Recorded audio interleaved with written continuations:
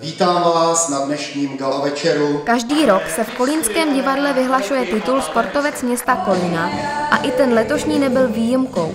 Moderátorem byl olympijský vítěz v akrobatickém lyžování Aleš Valenta. Ale Kolín Letošní cíle jsou určitě dostat se na mistrovství, teda na mezistátní utkání a mistrovství Evropy, Evropy do Curychu. Nominovalo se do sedmi kategorií, například družstva mládež, trenér roku nebo dospělí jednotlivci.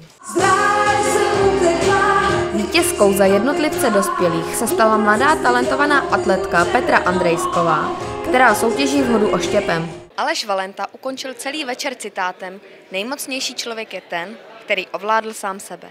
Martina Kolejová, televize Kolín.